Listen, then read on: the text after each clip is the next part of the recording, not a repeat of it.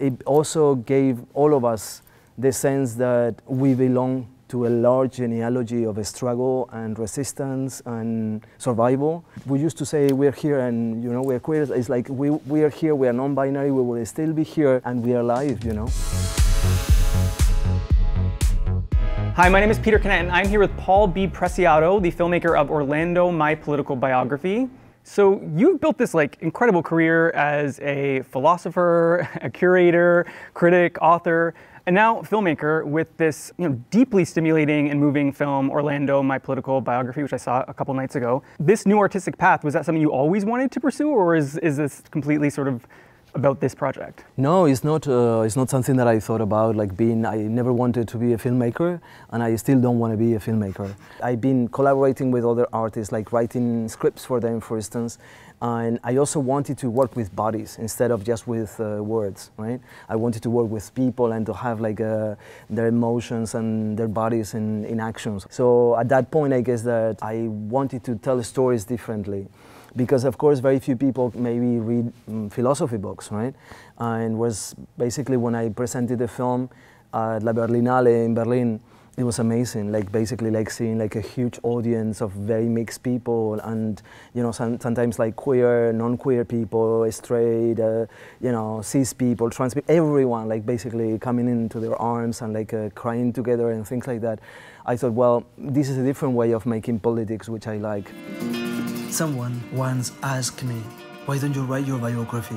I replied, because fucking Virginia Woolf wrote my biography in 1928.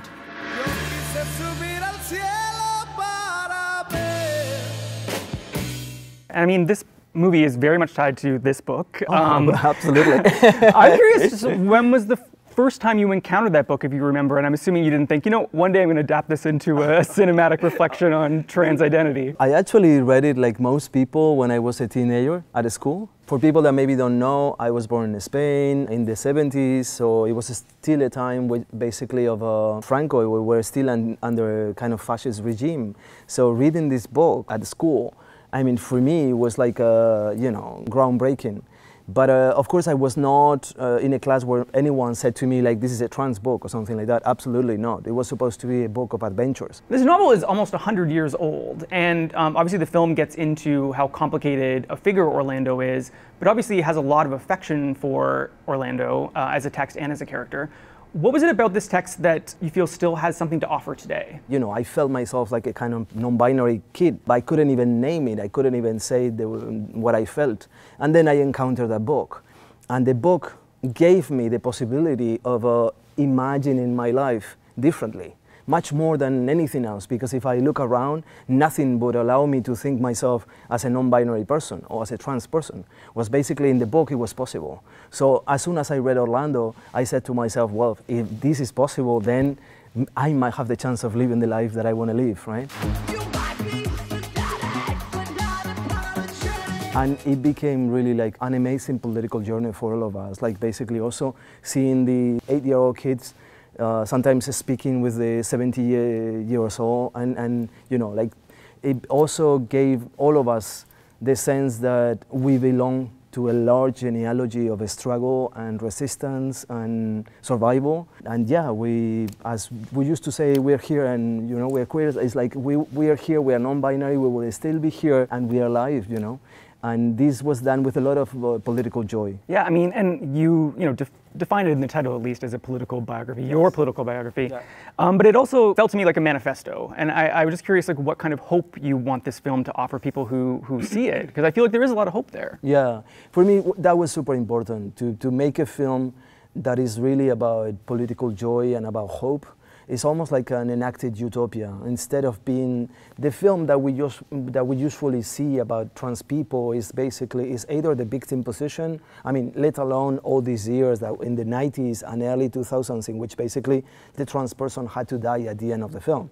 That was like you know this kind of very necropolitical way of speaking about trans people, which is you know it's like you have no place within society. I wanted to do it in a very different way. For me, it's not about explaining anything. It's not about reclaiming our position in society is just a way of saying we are already here living non-binary lives in a very normative binary world and maybe you have to mutate with us. I mean, this is what I'm trying to say in the film is I'm inviting everyone, trans and non-trans and binary and non-binary people, to maybe just like come with us into this Orlando adventure of mutating. Because as a society, we're going to have to mutate if we want to survive to what is happening, right? Like we're going to have to leave behind capitalism, the taxonomies of a colonial history, racism, patriarchal society. So we are going into a big mutation, and that's that's the Orlando adventure.